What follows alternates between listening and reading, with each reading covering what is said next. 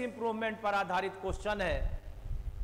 Aren't it difficult to drive a car in crowded city यहाँ पर हमारा subject है इट तो बताइए इट के लिए ईज होगा कि आर होगा?